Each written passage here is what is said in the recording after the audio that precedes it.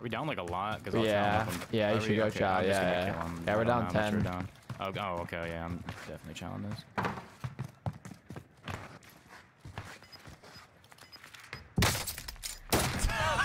Bro, that is incredible. Got sniped in my side, broke my plates, and then ran into a claymore, brother.